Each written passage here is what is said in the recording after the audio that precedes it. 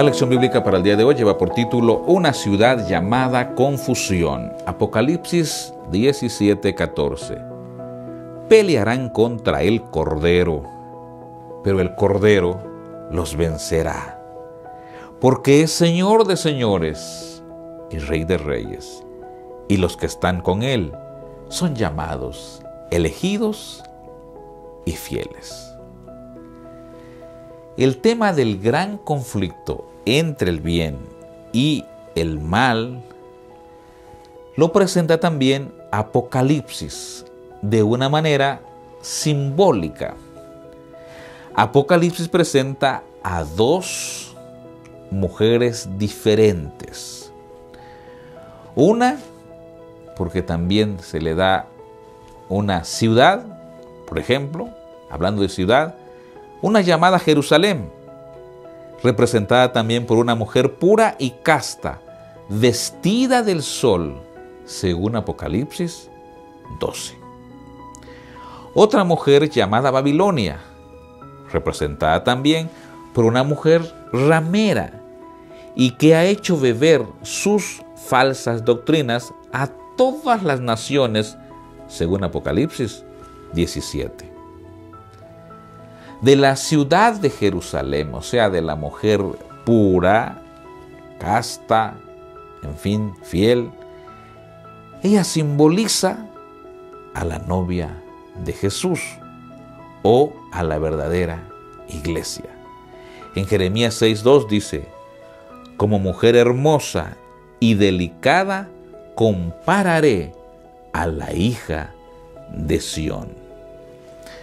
En contraste, la Babilonia compara la apostasía con la prostitución o el adulterio. Santiago capítulo 4, versículo 4, escuchemos lo que dice. O almas adúlteras. ¿No sabéis que la amistad del mundo es enemistad contra Dios? Cualquiera pues que quiera ser amigo del mundo se constituye enemigo de Dios. Y Ezequiel 16:32 agrega, eres una esposa adúltera que recibe a extraños en lugar de a su propio marido. En resumen, a la falsa adoración, falsas doctrinas, falsos dioses, etcétera, se le llama en Apocalipsis 17 la condenación de la gran ramera. Recordemos que Babilonia viene de Babel, donde Dios confundió las lenguas, y en Apocalipsis se toma este nombre de la ciudad de Babilonia para mostrar toda falsedad, idolatría y confusión religiosa. ¿Cuál es el llamado de Dios para toda la raza humana? Bueno, el llamado es a servir al Dios verdadero, es salir de Babilonia y unirnos al pueblo del Señor. ¿Qué lecciones podemos aprender para nuestra vida? Una lección para hoy. En Daniel 3 se habla de los tres hebreos a quienes se les había ordenado que adoraran a la estatua de oro que el rey Nabucodonosor levantó. Eso está en Daniel capítulo 3, versículo 5.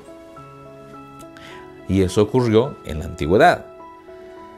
Ahora se erige como un símbolo, un modelo de lo que sucederá cuando la Babilonia espiritual en los últimos días también imponga la adoración de una imagen falsa.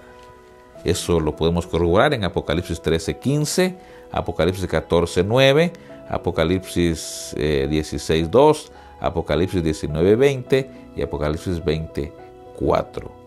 Hoy tú y yo, a la luz de la Biblia, ya sabemos cuál es la diferencia entre la verdad y el error.